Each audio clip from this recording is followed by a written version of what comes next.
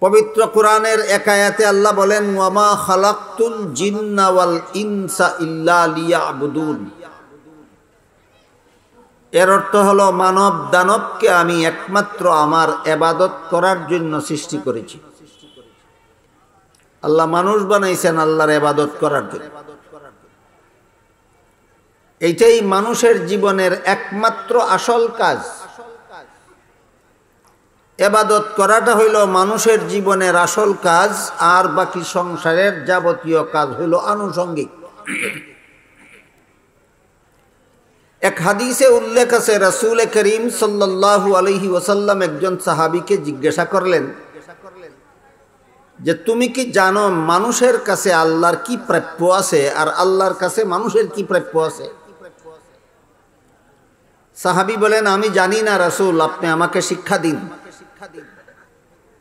তখন রাসুল বলেন শিখে রাখো।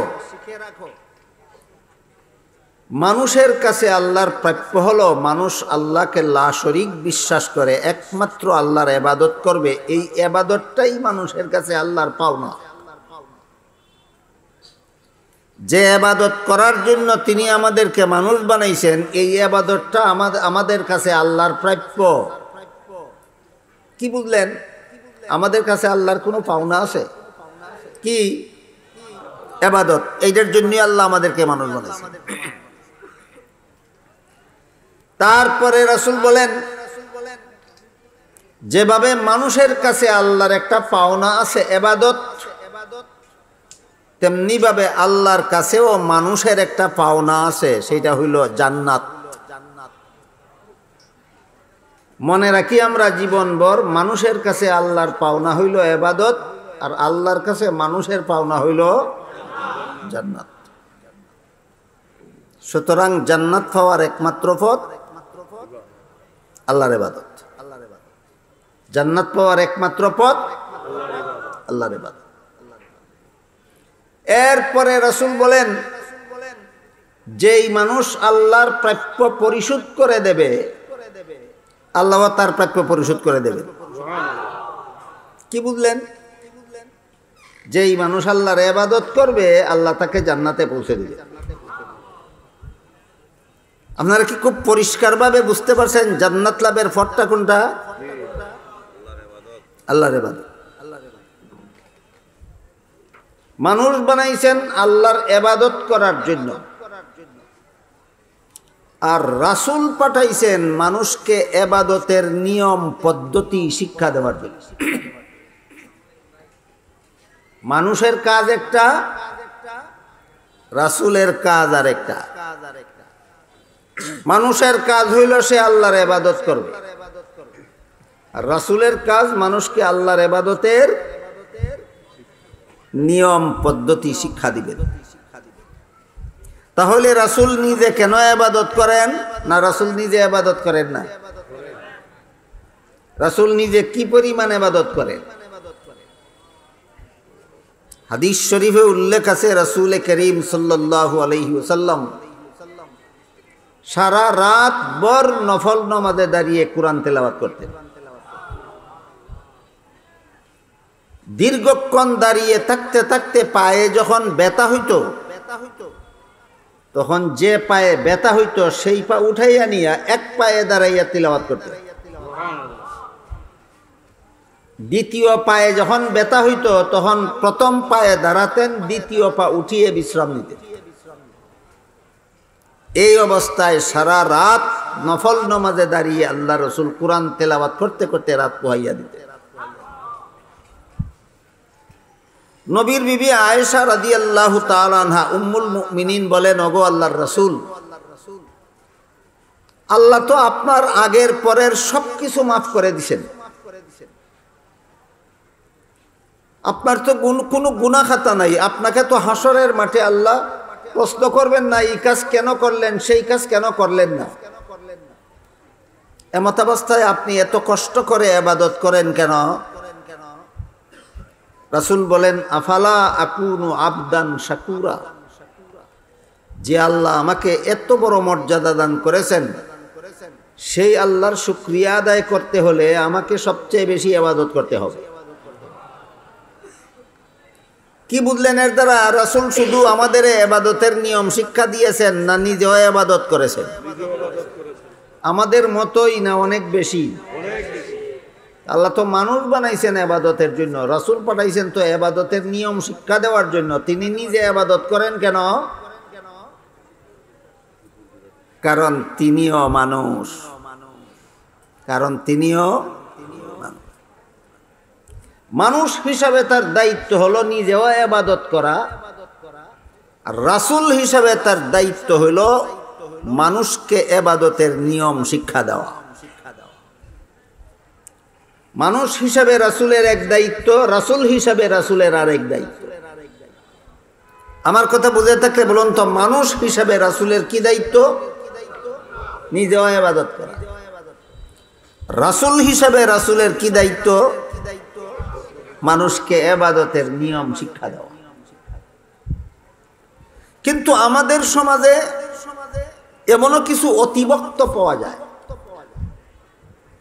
যারা নিজেদেরকে নিজেরা আশিকে রাসুল বলে দাবি করে, তারা নবীর প্রতি অতিভক্তি দেখাতে গিয়া বলে, নবী মানুষ না। আর আল্লাহ কোরআনে বলেন, কুল সুবহানা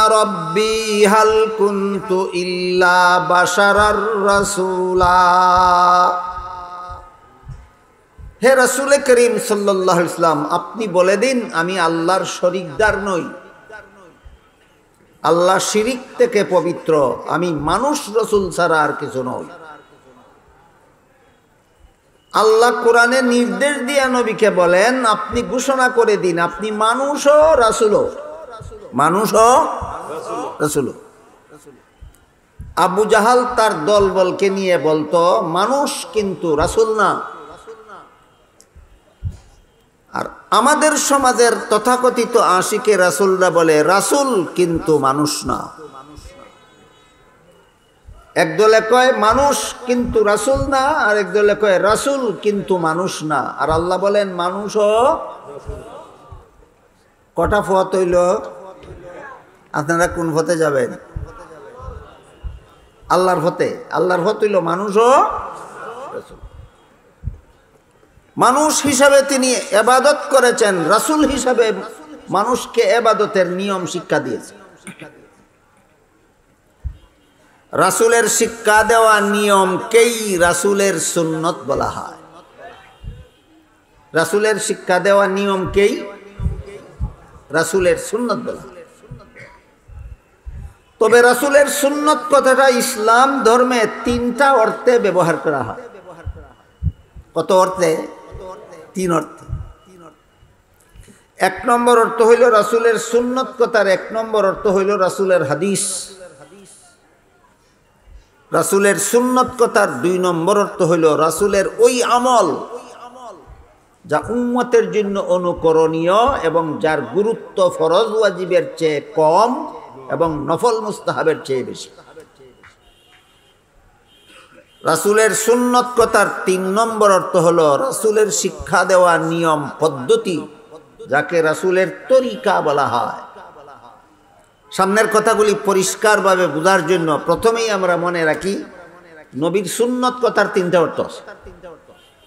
নবীর সুন্নত কথার তিনটা অর্থ নবীর সুন্নত কথার এক নম্বর অর্থ নবীর হাদিস, সিরিয়াল নম্বর সহ মনে রাখুন সামনের কথা বোঝার জন্য। নবীর সুন্নত কথার এক নম্বর অর্থ হইল নবীর হাদিস। নবীর সুন্নত কথার দুই নম্বর অর্থ হইল নবীর আমল। নবীর সুন্নত কথার তিন নম্বর অর্থ হইল নবীর তরিকা। নবীর হাদিস, নবীর আমল, নবীর তরিকা। ভুলে যাবেন না, ভুলে গেলে সামনের কথা বুঝতে কঠিন হবে।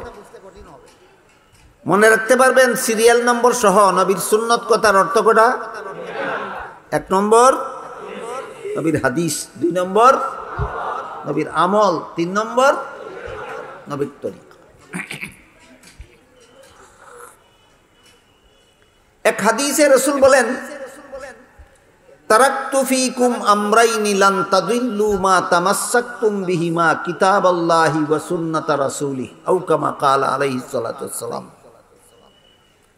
এর অর্থ হলো, আমি রসুল দুনিয়ার থেকে বিদায় কালে তোমাদের কাছে, হে আমার উম্মতেরা, তোমাদের কাছে দুটি জিনিস রেখে যাচ্ছি। যতদিন পর্যন্ত তোমরা আমার রেখে যাওয়া দুটি জিনিস শক্তভাবে আঁকড়িয়ে ধরবে, আঁকড়িয়ে থাকবে, ততদিন পর্যন্ত তোমরা বিপদগামী হবে না জাহান নামের পথের যাত্রী হবে না। আমার রেখে যাওয়া দুটি জিনিসের প্রথমটির নাম হলো আল্লাহর কিতাব, কুরআন। দ্বিতীয়টির নাম হলো নবীর সুন্নত, হাদিস। এখানে নবী নিজেই নবীর সুন্নত কথাটাকে নবীর হাদিস অর্থে ব্যবহার করেছে। নবী নিজেই নবীর সুন্নত কথাটাকে নবীর হাদিস অর্থে ব্যবহার আরেক হাদিসে রসুল বলেন, রমজান মাসের দিনের বেলায় রোজা রাখা আল্লাহ তোমাদের জন্য ফরজ করেছেন। আর রাতের বেলায় তারাবিহের নামাজ পড়া আমি রাসুল তোমাদের জন্য সুন্নত করেছি। রোজা রাখা আল্লাহর ফরজ, তারাবির নামাজ পড়া নবীর সুন্নত। এখানে নবীর সুন্নতর তো নবীর হাদিস নয়, এখানে নবীর সুন্নতর তো নবীর আমল। তারাবিহের নমাজ নবীর আমলে ছিল, উম্মতের জন্য অনুসরণীয়। এই জন্য তারাবির নামাজকে নবীর সুন্নত বলা হয়।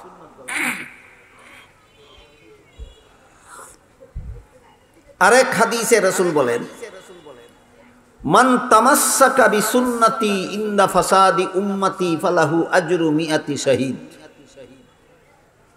এর অর্থ হলো, যে যুগে আমার উম্মতেরা আমার সুন্নত থেকে দূরে সরে যাবে, সেই যুগে যারাই আমার সুন্নতে অটল থাকবে, তারা একশত শহীদের সব হবে এখানে সুন্নতর তো হাদিসও নয়, এখানে সুন্নতর তো আমলও নয় এখানে সুন্নতর তো নবীর তরিকা, নবীর শিক্ষা দেওয়া নিয়ম পদ্ধতি। নবীর শিক্ষা দেওয়া নিয়ম পদ্ধতি। কাজেই সুন্নত কথার তিন অর্থ তিন হাদিসে পাওয়া যায়। এক হাদিসে পাওয়া যায় নবীর সুন্নত অর্থ নবীর হাদিস। আর এক হাদিসে পাওয়া যায় নবীর সুন্নত অর্থ নবীর আমল। আর এক হাদিসে পাওয়া যায় নবীর সুন্নত অর্থ নবীর তরিকা। এর মধ্যে নবীর সুন্নত অর্থ যে নবীর হাদিস, এই আলোচনাটা আপনাদের জন্য কঠিন হবে এবং আপনাদের জন্য এই আলোচনা খুব একটা জরুরিও নয়। যে শুধুমাত্র হাদিসের ক্লাসের ছাত্রদের জন্য জরুরি এবং তারাই ভালোভাবে বুঝবে তাই নবীর সুন্নত কথার প্রথম অর্থের আলোচনাটা আমি আজকের জন্য মুলতবি রাখলাম। নবীর সুন্নত কথার দুই নম্বর অর্থ কি? নবীর আমল। যে আমল উম্মতের জন্য অনুকরণীয়, যে আমলের গুরুত্ব ফরজ, ওয়াজিবের চেয়ে কম এবং নফল মুস্তাহাবের চেয়ে বেশি। এটাকে আমলি সুন্নত বলা হয়। নবীর আমলের নাম যে নবীর সুন্নত, এর আরেক নাম কি সুন্নত? আমলি সুন্নত। এইটা আবার দুই প্রকার। এক প্রকার সুন্নতের নাম সুন্নতে মুয়াক্কাদা আর এক প্রকার সুন্নতের নাম সুন্নতে জায়েদা। সুন্নতে মুয়াক্কাদা ওই সুন্নতকে বলে যে সুন্নত বাধ্যতামূলকভাবে পালন করতে হবে, লঙ্ঘন করার অভ্যাস করলে নবীর সাফাআত থেকে বঞ্চিত থাকতে হবে। বাধ্যতামূলকভাবে পালনীয় সুন্নতকে সুন্নতে মুয়াক্কাদা বলা হয়। আর ঐচ্ছিক সুন্নতকে যে সুন্নত লঙ্ঘন করলেও গুণা হয় না, শুধু পালন করলে আলাদা সোয়াব পাওয়া যায়। এমন সুন্নতকে সুন্নতে জায়েদা বলা হয়। দুই রকম সুন্নতের পার্থক্য ওই সমস্ত মুসল্লি ভাইয়েরা বুঝবেন সহজে, যারা পাঁচ বেলার নামাজ পড়ে। যারা পাঁচ বেলার নামাজ পড়েন, তারা একটু দয়া করে বলবেন, জুহরের চার রাকাত ফরজ নামাজের আগে চার রাকাত সুন্নত আছে কিনা? আসরের চার রাকাত ফরজ নামাজের আগে ও চার রাকাত সুন্নত আছে। জুহরের চার রাকাত সুন্নত, আসরের চার রাকাত সুন্নত। এবার বলুন, দুই শূন্যতে কি কোনো বেশ কম আছে? কি জোহর একটা শূন্যতে মুয়াক্কাদা আর আসর একটা শূন্যতে জায়দা? এবার আমরা বোঝার চেষ্টা করব। সুন্নতে মুয়াক্কাদা আমল করার অভ্যাস করলে কি উপকার? সুন্নতে মুয়াক্কাদা লঙ্ঘন করার অভ্যাস করলে কি ক্ষতি? সুন্নতে জায়দা পালন করার অভ্যাস করলে কি লাভ? সুন্নতে জায়দা লঙ্ঘন করার অভ্যাস করলে কি ক্ষতি? কথা কথা? কথা। সুন্নতে মুয়াক্কাদা পালন করার উপকারিতা লঙ্ঘন করার ক্ষতি।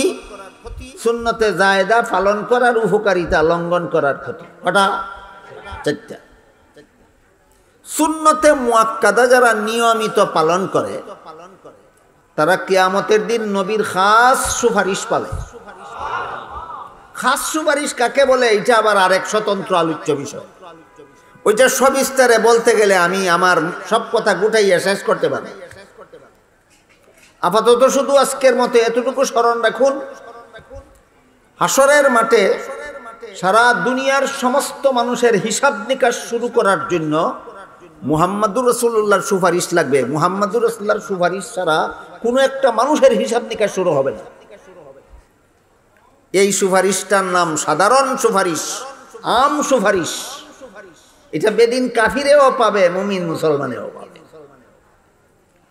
আরেক রকম সুপারিশ আছে হাসরের মাঠে, যেটা কোনো বেদিন কাফিরে পাবে না, শুধুমাত্র মুমিন মুসলমানে পাবে।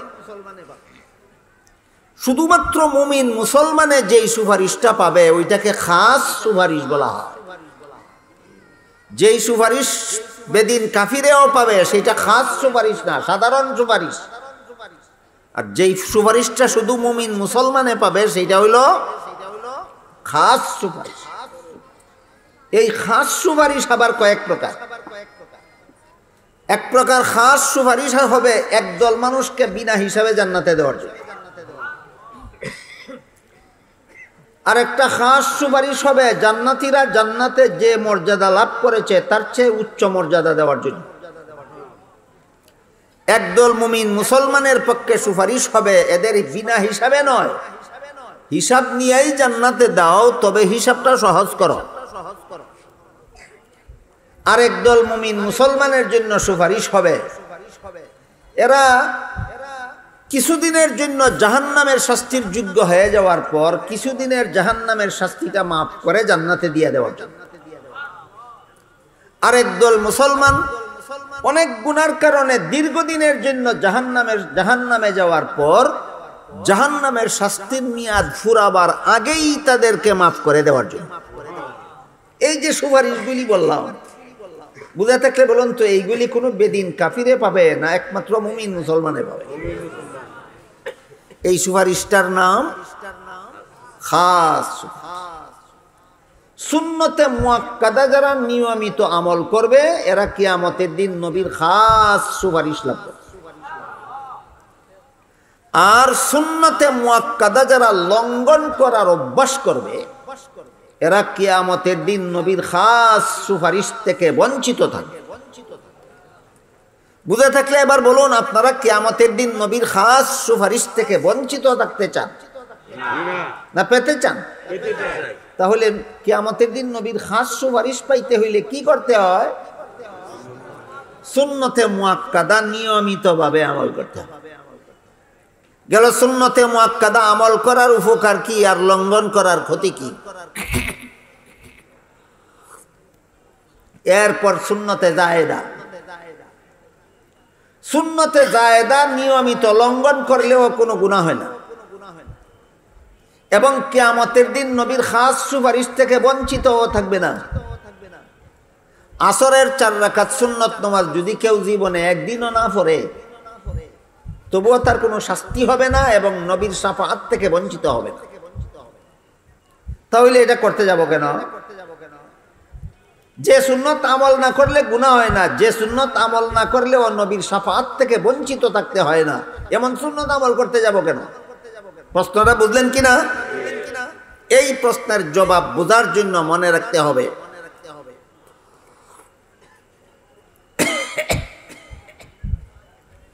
কোনো মানুষ যদি গুনার অভ্যাস ছেড়ে দেয় আর সকল প্রকার ফরজ আমল করে সকল প্রকার ওয়াজিব আমল করে, সকল প্রকার শূন্যতে মুয়াক্কাদা আমল করে। এই পাঁচটা কাজ যারা করে, চারটা কাজ, গুনার অভ্যাস ছেড়ে দিল, ফরজ আমলে অভ্যস্ত, ওয়াজিব আমলে অভ্যস্ত, সুন্নতে মুয়াক্কাদা আমলে অভ্যস্ত। কটা হইল? এই চারটা কাজ। এই চার কাজের পুরস্কার তিনটা। গুনার অভ্যাস সাইরা দেওয়ার কারণে জাহান্নাম থেকে রক্ষা। ফরজ ওয়াজিব আমল করার কারণে জান্নাত লাভ। সুন্নতে মুয়াক্কাদা আমল করণে নবীর সুপারিশ লাভ।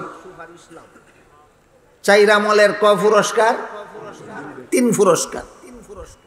বুঝে থাকতে বলুন তো, গুনার অভ্যাস ছেড়ে দেওয়ার পুরস্কার কি? জাহান্নাম থেকে নাজাত। ফরজ ওয়াজিব আমল করার পুরস্কার কি? জান্নাত লাভ। সুন্নতে মুয়াক্কাদা আমল করার পুরস্কার কি? নবীর সুপারিশ লাভ। এই চার কাজের দ্বারা তিন পুরস্কার আপনি পাবেন। কিন্তু সুন্নতে জায়দা আর নফল মুস্তাহাবকে যদি আপনার অভ্যাসে পরিণত না করেন আর একটা পুরস্কার আছে, সেটা আপনি পাবেন। পঞ্চম কাজ যে সুন্নতে জায়দা আমলকে অভ্যাস বানান নফল মুস্তাহাবের আমলকে অভ্যাসে পরিণত করা এই পঞ্চম কাজের আলাদা একটা পুরস্কার আছে। সেই পুরস্কারটা কি? সহি বখারি শরীফের হাদিসে উল্লেখ আছে রাসুল করিম সাল্লাম বলেন যেই ব্যক্তি নফল বন্দেগীকে নিজের অভ্যাস বানায় আল্লাহ পাক রব্বুল আলমিন তাকে আল্লাহর ওলি বানায়। তখন ওই বন্দার মুখ আল্লাহর মুখ হইয়া যায়। সেই বান্দার হাত আল্লাহর হাত হইয়া যায়। সেই বন্দার পা আল্লাহর পা হইয়া যায়। তাইলে সুন্নতে জায়দা আর নফল বন্দগীর পুরস্কার কি আল্লাহর ওলি হওয়া?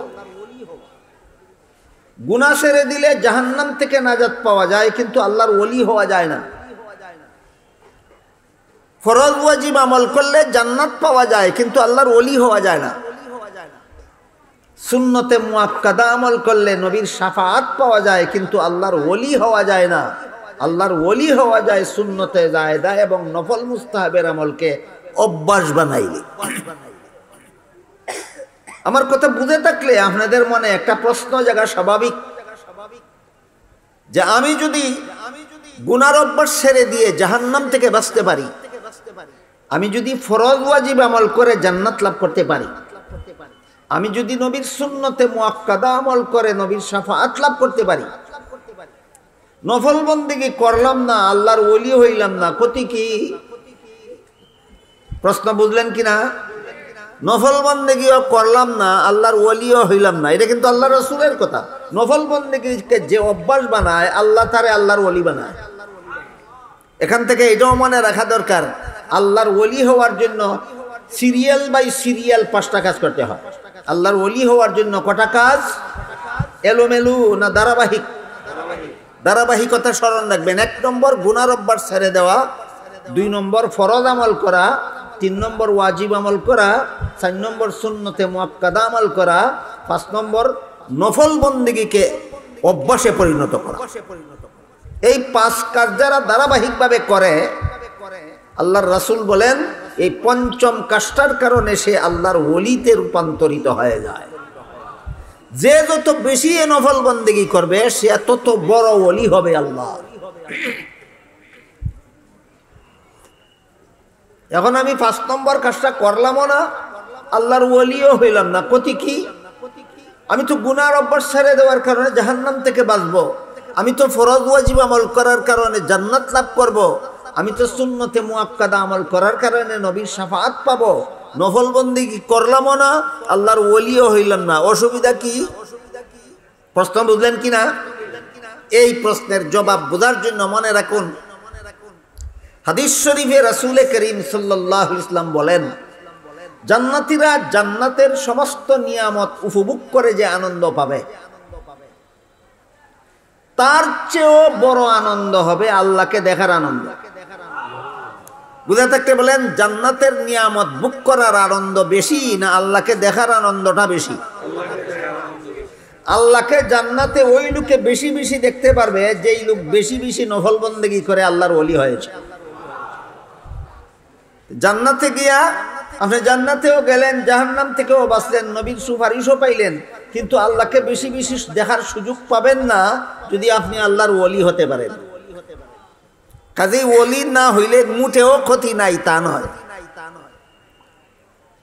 আল্লাহর ওলি হইলে জান্নাতের সমস্ত নিয়ামত উপভোগ করার আনন্দ, চেয়েও বড় আনন্দ, আল্লাহকে দেখার আনন্দ। যে যত বড় ওলি হবে আল্লাহর, সে তত বেশি বেশি সাক্ষাৎ পাবে জান্নাতে আল্লাহ।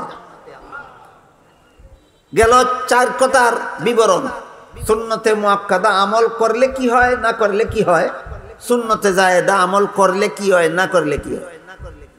বুঝলেন কিনা? আমি একটু পরীক্ষা করার জন্য জিজ্ঞাসা করতে চাই। বলুন তো, সুন্নতে মুআক্কাদা আমল করলে কি হয়? নবীর খাস সুপারিশ পাওয়া যায়। না করলে কি হয়? নবীর খাস সুপারিশ থেকে সাহেবের আমল যদি পাঁচ নম্বর সিরিয়ালে করে, এর আগের চারটা পুরা করার পরে, তাহলে সে আল্লাহর ওলি হতে পারে। সুন্নতে জায়দার নফল মুস্তাহাবের আমলকে অভ্যাস না বানালে আল্লাহর ওলি হতে পারে না। গেল আমলি সুন্নত সম্পর্কে সামান্য আলোচনা।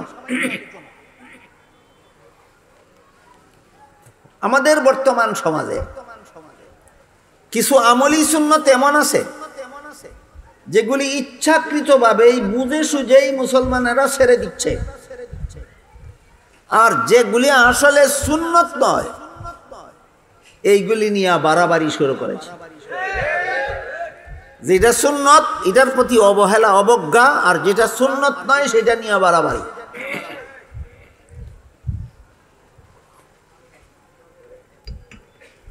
যেমন একটা উদাহরণ দিচ্ছি, শোনো। কোন ছেলে মেয়ের যখন বিয়ে হয়, একটা ছেলের সাথে একটা মেয়ের বিয়ের আগ্রহ হইল বিয়ের আগ্রহ সম্পন্ন হওয়ার সাথে সাথে একটা দোয়া আছে এটা ফরা সুন্নত। বলুন তো, বিয়ার আগ্রহ সম্পন্ন হলে সুন্নতি কোন দোয়া আছে কিনা? কি দোয়াটা? বারাকাল্লাহু লাকুমা ও বারাকাল্লাহু আলাইকুমা ওয়া জামা বাইনাকুমা ফি খাইর। এই যে দোয়াটা, এটা বিয়ার আগদের পরে ফরা সুন্নত। বিয়ার আগদের পরে ফরা সুন্নত। সম্মিলিতভাবে ফরা সুন্নত নয়, ব্যক্তিগতভাবে ফরা সুন্নত। যতজন উপস্থিত আছে প্রত্যেকেই বারাকাল্লাহুলা কুমা ও বারাকাল্লাহু আলাইকুমা ওয়াজামা বাইনা কুমা ফি খাইর পড়বে। তাহলে আগদের সুন্নতি দোয়া পড়ল। এই দোয়া জীবনে শিখবেও না, এই দোয়া জীবনে পড়বেও না। আগদ শেষ হইলেই হুজুরকে বলবে, হুজুর, এইবার দোয়া করে ফেলো। হুজুর সবাইকে নিয়ে দোয়া করে ফেলাটা এই এই সময়ের সুন্নত নয়। এই সময়ের সুন্নত তোমার দোয়া তুমি পড়বা। এই সময়ের সুন্নত কি? তোমার দোয়া তুমি পড়বা সেটা কি?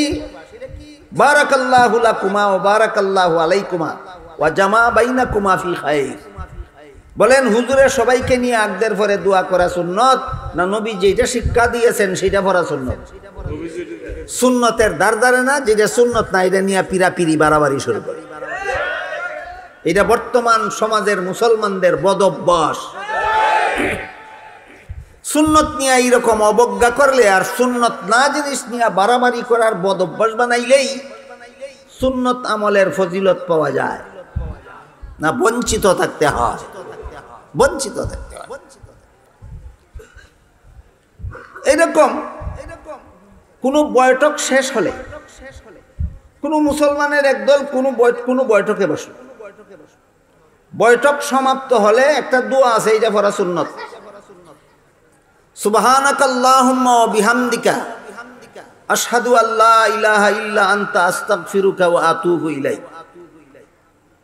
এই শেষ হইলে জীবনে কোনোদিন শিখবেও না, পড়বেও না, বৈঠক শেষ হইলে শুধু হুজুরকে ফরমাই যে হুজুর, দোয়া করে ফেলেন, চলে যাব। বলেন তো, বৈঠক শেষ হলে হুজুরকে দোয়া করার জন্য ফিরাফিরি করা সুন্নত না? আমার দোয়া আমি পড়া সুন্নত। তুমি সুন্নত, এটা পড়ো না, যেটা সুন্নত না, এটার জন্য ফিরাফিরি করো কেন? কথা বুঝলেন কিনা? এইরকম দেখা যায় মুসলমান সমাজে। নবীর উম্মতের জন্য দৈনন্দিন চব্বিশ ঘণ্টার জীবনে এমন কোনো কাজ নাই যে কাজের মধ্যে সুন্নতি দোয়া নাই। এমন কোনো কাজ নাই যে কাজে সুন্নতি দোয়া নাই। যত কাজ আছে, সকল কাজে সুন্নতি দোয়া আছে। কোন কাজে কোন দোয়া সুন্নত, কোন কাজে কোন দোয়া সুন্নত, কোন কাজে কোন দোয়া সুন্নত। এটা কোনোদিন শিখবেও না, শিখাইলেও শিখতে চাবে না, কিন্তু যেটা সুন্নত তো এটার জন্য পিরা পিরি আর বাড়াবাড়ি করবে। এটা একটা বদ অভ্যাস ছাড়া আর কিছু নয়।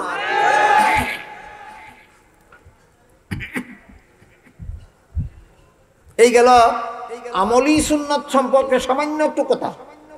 এবার, নবীর সুন্নত কথার তিন নম্বর অর্থ বলেছিলাম তরিকা, নবীর শিক্ষা দেওয়া পদ্ধতি। আল্লাহর কোন এবাদতটা কোন পদ্ধতিতে করতে হবে? আল্লাহর নবী শিক্ষা দিয়েছে। শুধু আবাদত নয়, সংসারের কাজেরও নিয়ম নবী শিক্ষা দিয়েছে। ধর্মের কাজ, এবাদতের কাজও যদি নবীর তরিকা মতে না করে, মন গড়া মতে করে, তাইলে এইটার নাম হয় বেদাত। আর সংসারের কাজও যদি নবীর তরিকা মতে করে, এটার দ্বারা এবাদতের সোয়াব পায়।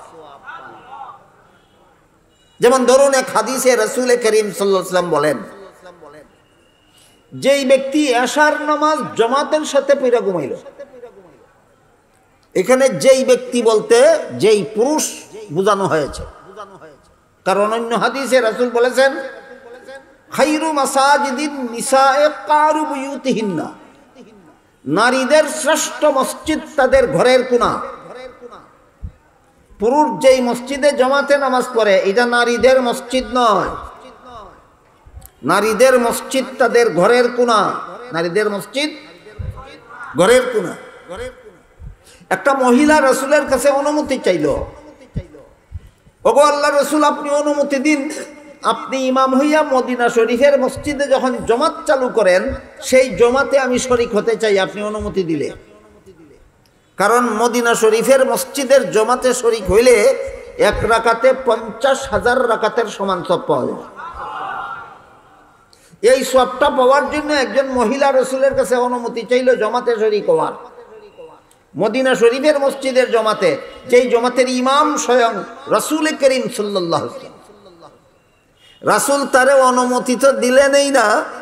রসুলের পরিচালিত নমাজের জমাতে শরিক হওয়ার অনুমতি না দিয়া বললেন, এই সবটাই তুমি পাইবা গড়ের কোনায় একা নামাজ পড়লে। বুঝে থাকলে এবার বলুন তো, পুরুষের জন্য পাঁচ বেলার নামাজ পড়ার, তারাবির নামাজ পড়ার বেলায় নবীর তরিকা হলো মসজিদে গিয়া জমাতে পড়বে, আর মহিলাদের জন্য নবীর তরিকা হইল ঘরের কোনায় একা পড়বে একা পড়বে। নবীর তরিকা। পাঁচ বেলার নামাজ পড়ার জন্য, তারাবির নামাজ পড়ার জন্য, পুরুষের বেলায় নবীর যেই তরিকা, নারীদের বেলায় সেই তরিকা। না, পদ্ধতি বেশ কম আছে। আমার কথা বুঝে থাকলে বলুন তো, পাঁচ বেলার নামাজ এবং তারাবির নামাজ, মসজিদে গিয়া জমাতের সাথে পড়া সুন্নত, নারীদের জন্য না পুরুষের জন্য? পাঁচ বেলার নামাজ এবং তারাবিহের নামাজ, ঘরের কোনায় একা পড়া সুন্নত পুরুষের জন্য না মহিলাদের জন্য? এই কথা যারা বুঝে না, নিজের মা বোনদের তারাবির নামাজ ছোট্ট মসজিদে ভাটায় এটা সুন্নত না, এটা ফ্যাশন মহিলাদেরকে আমাদের জমাতে শরিক হওয়ার জন্য মসজিদে পাঠাইয়া দেওয়া সুন্নত নয় ফ্যাশন বলেন সুন্নত না ফ্যাশন এটা ফ্যাশন এই ফ্যাশনের ফলাফল কি? দুঃখিত আমি। আপনারাও অতিষ্ঠ হবেন কথা লম্বা হইলে আর আমিও কথা লম্বা করার মতো সময় সুযোগ নাই। খুব শর্টকাটে বলার চেষ্টা শুনুন।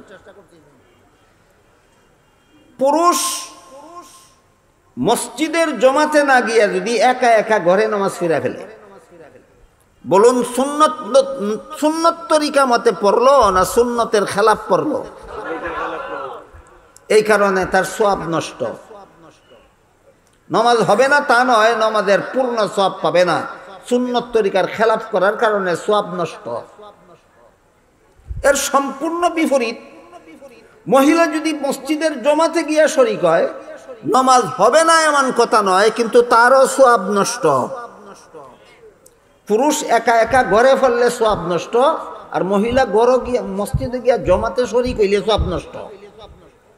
পুরুষে পুরুষে মসজিদের জমাতে শরিক গিয়া নামাজ পড়লে পরিপূর্ণ সব মহিলায় ঘরের কোনায় একা নামাজ পড়লে পরিপূর্ণ সব বুঝে থাকতে বলুন তো, পুরুষের জন্য নবীর তরিকা আর নারীদের জন্য নবীর তরিকা একরকম না ভিন্ন ভিন্ন? ভিন্ন ভিন্ন। হাদিস শরীফে রসুল বলেন, মান তামাসসাকা বিসুন্নতি ইন্দা ফসাদি উম্মতি ফালাহু আজরু মিয়াতি শাহিদ। যে যুগে আমার উম্মতেরা আমার সুন্নত থেকে দূরে সরে যাবে, সেই যুগে যারাই আমার সুন্নতে অটল থাকবে, একশত শহীদের সব পাবে। এই এখানে এই হাদিসে সুন্নত বলতে হাদিস নয়, এখানে সুন্নত বলতে আমল নয়, কেন সুন্নত বলতে নবীর তরিকা। যে যুগে আমার উন্মতে আমার তরিকা ছেড়ে দিয়া মন গড়া পদ্ধতিতে আবাদত করবে, সেই যুগে যারাই আমার তরিকা মতে আবাদত করবে, এরা একশত শহীদের সব পাবে। কাজেই এই যুগে যে পুরুষ মসজিদে জমাতে নমাজ পড়বে, এই যুগে যে মহিলা ঘরের কোনায় একা নামাজ পড়বে, এরা নবীর বিলুপ্ত সুন্নতকে জিন্দা করল।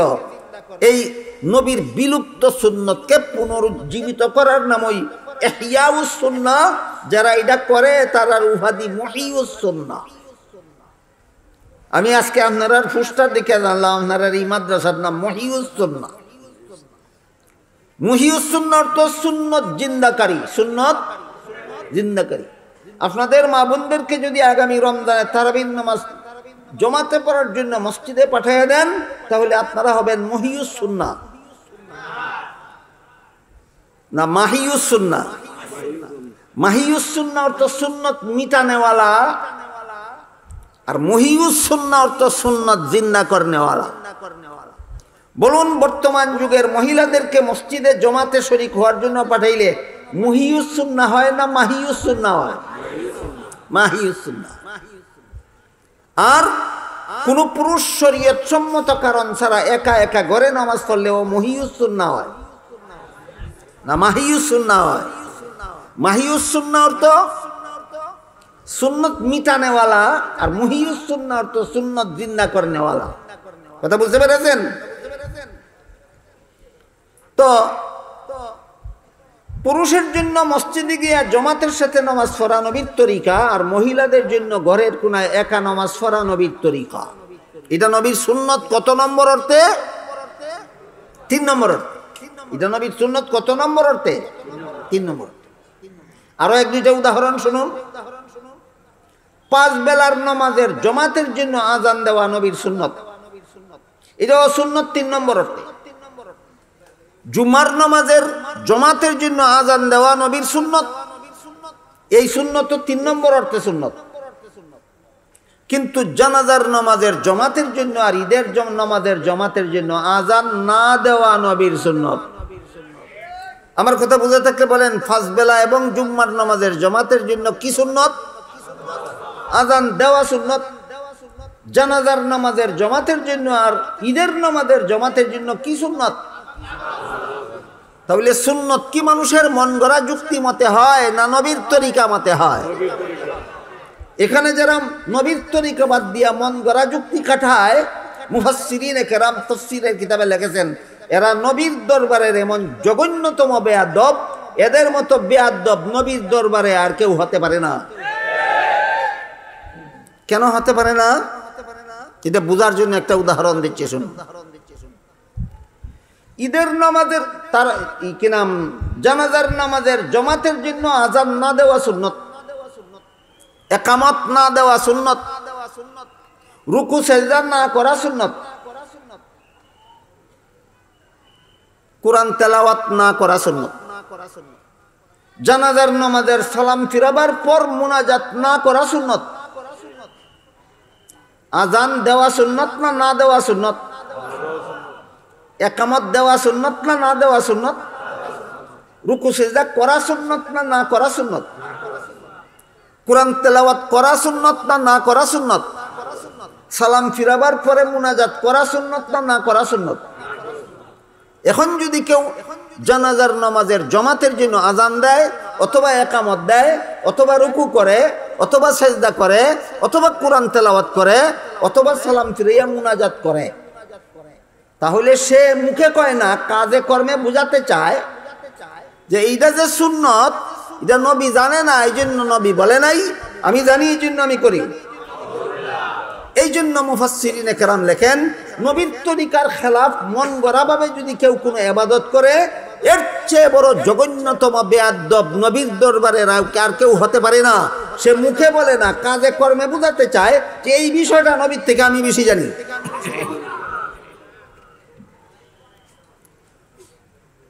উদাহরণ বুঝে থাকলে এবার আরেকটা উদাহরণ দিচ্ছি। মোহাম্মদুর রসুল্লাহ সাল্লাহ আলহি ওসাল্লাম আজানের সুন্নত শিক্ষা দিয়েছেন। আজানের সুন্নত শিক্ষা দিয়েছেন, আজান শেষ করার পরে দুরুদ শরীফ পরে আজানের দোয়া পড়া। আজানের দোয়া পড়া সুন্নত, আজান আজান শেষ করার পর আজানের দোয়া পড়া সুন্নত আজান শেষ করার পর। আজান শুরু করার আগে দোয়া পড়ার কোনো তরিকা নবী শিক্ষা দেন নাই। বুঝে থাকলে বলুন, নবীর সুন্নত তরিকা মতো আজান শুরু করার আগে দূরত পড়া সুন্নত না শেষ করার পরে দূরত পড়া সুন্নত? এখন যদি কেউ আজান শুরু করার আগে দূরত পড়ে, তাইলে সে বুঝাতে চায় যে আজানের আগে দূরত পড়া যে সুন্নত, এটা নবী জানে না এই জন্য বলে না। আমি জানি এই জন্য করি। এই জন্য মুফাসসিরিনে কেরাম লেখেন, এর চেয়ে বড় জঘন্যতম বেয়াদ্দব নবীর দরবারে আর কেউ নাই যে মন গড়া যুক্তি দিয়া এবাদত বন্দিগি করে নবীর সুন্নতের খেলাফ। আরেকটা উদাহরণ দিয়ে কথা শেষ করি। হাদিস শরীফে উল্লেখ আছে, রসুল করিম সাল্লাহ ইসলাম প্রতি সোমবারে নফল রোজা রাখতেন। কিবারে? সাহবায়কেরাম জিজ্ঞাসা করলেন অগো আল্লাহ রসুল, আপনি প্রতি সোমবারে নফল রোজা রাখেন কেন?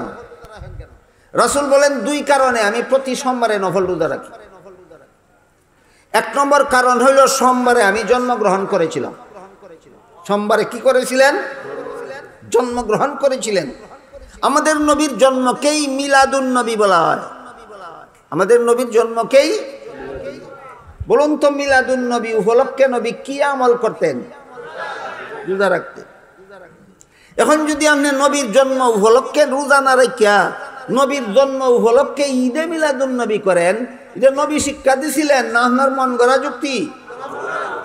মন গড়া যুক্তি দিয়া নবীর সুন্নতের পরিপন্থী আমল যারা করে, এরা নবীর দরবারের এত বড় জঘন্যতম বেয়াদব। হে বুঝাইতে চায় যে এইটা যে সুন্নত, এটা নবী জানে না এই জন্য শিখাইছে না। আমি জানি এই জন্য করি।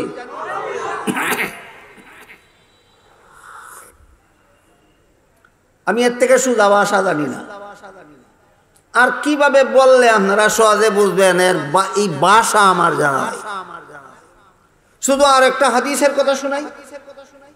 হাদিস শরীফে উল্লেখ আছে রসুল করিম সুসাম মক্কা শরীফ থেকে হিজরত করে মদিনা শরীফ গিয়া দেখলেন, মদিনার মুসলমানেরা বৎসরে দুই দিন আমোদ ফুর্তি করে। রসুল জিজ্ঞাসা করলেন, তোমরা বৎসরে দুই দিন আমোদ ফুর্তি করো কেন? বলে, হুজুর, আমরা মুসলমান হওয়ার আগের থেকেই আমরা দুইটা দিন ধার্য করে নিছি আমোদ ফুর্তি করার জন্য, ঈদ করার জন্য। রাসুল বলেন, মুসলমান নিজেদের ঈদের তারিখ নিজেরা ধার্য করতে পারে না। মুসলমানেরা নিজেদের ঈদের তারিখ নিজেরা ধার্য করতে পারে না। আল্লাহর পক্ষ থেকে মুসলমানের ঈদের জন্য দুইটা দিন ধার্য করে দেওয়া হয়েছে দুইটা ঈদের ঈদের তারিখ ধার্য করে দেওয়া হয়েছে একটা ঈদের নাম ঈদুল ফিতির আর একটা ঈদের নাম ঈদুল আজহা। কি বলেছেন রসুল? আল্লাহর পক্ষ থেকে মুসলমানদের জন্য বাৎসরিক কটা ঈদ ধার্য করে দেওয়া হয়েছে একটা ঈদুল ফিতির, একটা ঈদুল আজহা। ঈদুল ফিতির হয় শাওয়াল মাসের প্রথম তারিখে আর ঈদুল আজহা হয় দিল হজ মাসের দশ তারিখে। আপনারা যদি এখন বারোই রবিউল আওয়ালে আরেকটা ঈদ করেন, সেই ঈদের সিরিয়াল নম্বর কত? রসুল বলছিলেন দুইটা, আপনি বানাইছেন তিনটা। বানাইয়া কি বুঝাইলেন? বুঝাইলেন এই কথা যে ঈদ যে আসলে তিনটা, এটা নবী জানে না এই জন্য নবী তিনটার কথা কইছে না। আমি জানি এই জন্য আমি তিনটা করতেছি। মুফাসসিরিনে কেরাম লেখেন, এর চেয়ে বড় জঘন্যতম বেয়াদব নবীর দরবারের আর কেউ হতে পারে না। যেই ব্যক্তি মন গড়া যুক্তি, মন গড়া পদ্ধতিতে এবাদত বন্দী করে সবের কাজ করে, নবীর তরিকা লঙ্ঘন করে। এবার তিন সুন্নতের বিপরীত তিনটা জিনিস কইয়া শেষ করি কথা। আমলি সুন্নত বলছিলাম দুই প্রকার, একটা সুন্নতে মুয়াক্কাদা একটা সুন্নতে জায়েদা কেউ যদি সুন্নতে মুয়াক্কাদার বিপরীত করে, এটাকে বলা হয় মাকরুহ। কি বলা হয়? মাকরু মানে সব কম, অনু এটা এটা উত্তম নয়, এটা সব নষ্ট। আর কেউ যদি শূন্যতে জায়েদার বিপরীত করে, এটাকে বলা হয় খেলাফে আওলা, অনুত্তম। আর কেউ যদি নবীর সুন্নত কথার তিন নম্বর অর্থ যে নবীর তরিকা, এটার বিপরীত যদি করে নবীর তরিকার বিপরীতটার নাম বেদাত। নবীর সুন্নতের তিন নম্বর অর্থ নবীর তরিকা। এটার বিপরীতটার নাম বেদাত। যেমন, জানাজার নামাজের জন্য আজান দিলে আজান বেদাত। জানাজার নামাজের জমাতের জন্য একামত দিলে একামত বেদাত। ঈদের নামাজের জন্য আজান দিলে আজান বেদাত। ঈদের নামাজের জন্য একামত দিলে একামত বেদাত। জানাজার নামাজের ভিতরে রুকু রুকু করলে রুকু বেদাত, জানাজার নামাজের ভিতরে সেজদা করলে সেজদা বেদাত, জানাজার নামাজের ভিতরে কোরআন তেলাওয়াত করলে কোরআন তেলাওয়াত বেদাত, জানাজার নামাজের সালাম ফিরাইয়া মুনাজাত করলে মুনাজাত বেদাত আদানের আগে দুরুদ শরীফ পড়লে দুরুদ শরীফ বেদাত, ঈদুল ফিতির আর ঈদুল আজহা ছাড়া ঈদে মিলাদুন নবী করলে ঈদে মিলাদুন নবী বেদাত। ঠিক বললে হবে না, কারণ কি বলতে হবে? কারণ কি? নবীর তরিকায় নাই, তারপরেও সাফার জুড়ে মন গড়া যুক্তি দিয়া করে যারা, এরা নবীর দরবারের চরম বেয়াদ্দ। কেমনে বেয়াদ্দ এরা বুঝাইতে চায়? এইগুলি যে সবের কাজ, নবী জানে না, এই জন্য কয় না, আমি জানি, এই জন্য করি। এর চেয়ে বড় বেয়াদ্দব নবীর দরবারে আর কেউ হতে পারে না। সুতরাং নবীর দরবারের চূড়ান্ত আদব রক্ষা করার একমাত্র পদ্ধতি নবীর সুন্নতের তিন নম্বর অর্থ বাধ্যতামূলকভাবে পালন করতেই হবে। জীবনের সকল এবাদত নবীর তরিকা মতেই করতে হবে।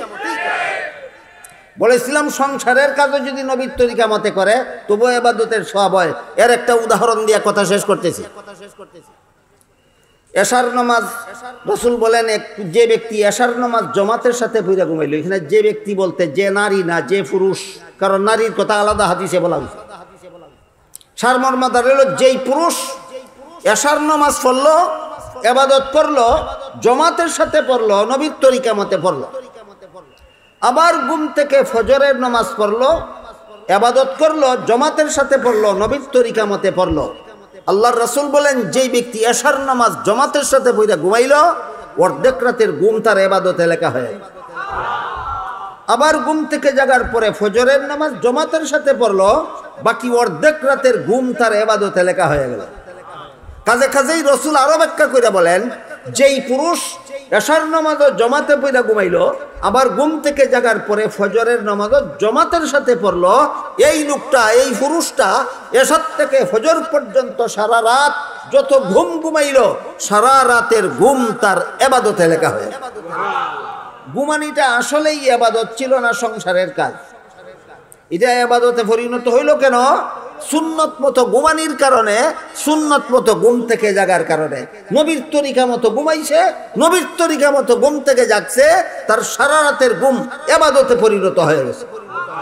সুতরাং এবাদতও যদি মন গড়া মতে করে, এটার নাম বেদাত। সংসারের কাজও যদি নবীর তরিকা মতে করে, সংসারের কাজও এবাদত। আল্লাহ আপনাদের, আমাদের সবাইকে এই এবাদত, সুন্নত, বেদাত এর পার্থক্যগুলি বুঝে এবাদত করা দরকার, সুন্নত মতে করা দরকার, সকল প্রকার বেদাত পরিহার করা দরকার। এইটাই জাহান্নাম থেকে বাঁচার পথ, এইটাই জান্নাত লাভের পথ, এই পথ আপনাদেরকে চিনাবার জন্যই এই সম্মেলনের আয়োজন। আল্লাহ আপনাদের, আমাদের সবাইকে সবার জন্য এই আয়োজনকে সফল করুন, সার্থক করুন। ওয়াখিরুদা ওয়ানা আনিল হামদুলিল্লাহ আলমী